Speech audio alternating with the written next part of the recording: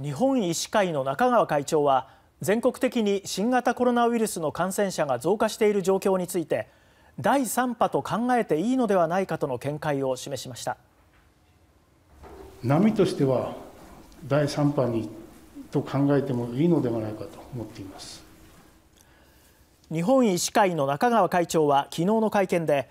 特に北海道での感染拡大については人口当たりの感染者が多く大変憂慮していると話しました。今後も感染者の増加が続く場合は GoTo トラベルキャンペーンの北海道を発着する旅行については見直す必要があるとの見解を示しました。